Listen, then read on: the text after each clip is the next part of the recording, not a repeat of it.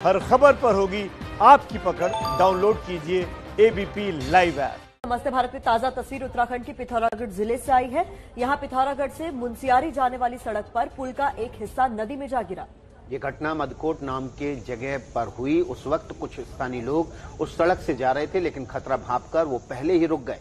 उन्होंने अपने मोबाइल कैमरे से वीडियो भी बना लिया। तस्वीर देखिए किस तरह से नदी में पुल देखते देखते ढह गया। इतनी भारी बारिश हुई कि जो पुल था, वो अपने आप को बचा नहीं पाया उस बारिश में और कुछ इस तरह कर भरभरा कर नीचे नदी में जा गिरा। राहत थी कि लोगों ने, क्योंकि वो स्थानीय लोग थे, पहाड़ी लोग थे, वो जानते हैं कि आसपास का जो बुनियादी ढांचा है, वो कितनी बारिश झेल सकता है, नहीं झेल सकता है। उन्होंने होशियारी दिखाई, पुल पार नहीं किया, दूर खड़े होकर वीडियो बनाई और सब बच गए।